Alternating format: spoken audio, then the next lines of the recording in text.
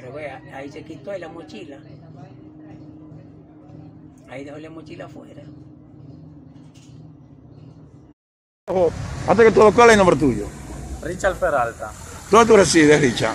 Yo resido en Villa María Los Pérez, ¿Eso pertenece a qué? a Gurabo. Explícame la forma de este robo.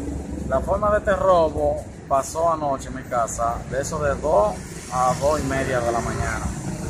El, el individuo voló la abeja de mi casa, envenenó mi perro y, y me, me, me sustrajo su- eh, mi motor de mi trabajo. ¿El motor tuyo se llevó? sí.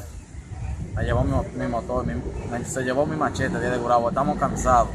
Todo, toda la semana de ella se llevan un motor, toda la semana se meten a, a la casa, está durmiendo, uno, uno durmiendo y se meten y, y se llevan las cosas de la casa. ¿Y el patillaje policial? ¿Cómo es para No, allá? no, eso es nulo, eso es nulo.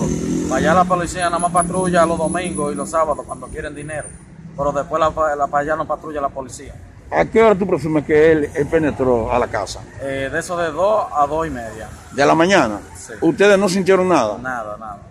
Eh, me dice la esposa tuya que hasta el perrito se lo envenenaron. Me envenenó mi, pro- mi perro. Me duele mi perro. Wow. Ok. Él subió por arriba de la abeja. Sí, se subió y rompió y puerta candado de la puerta para sacar el motor. La marca de tu motor, ¿cómo es? Un platina 100 negro. ¿En cuánto está valorado ese motor? Eh, bueno, eh, ese motor tenía como 6 meses en unos 50 mil pesos. Ok.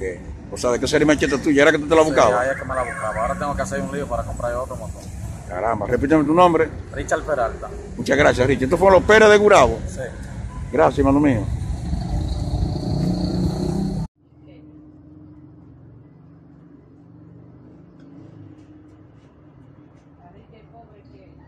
Pero vea, ahí se quitó la mochila.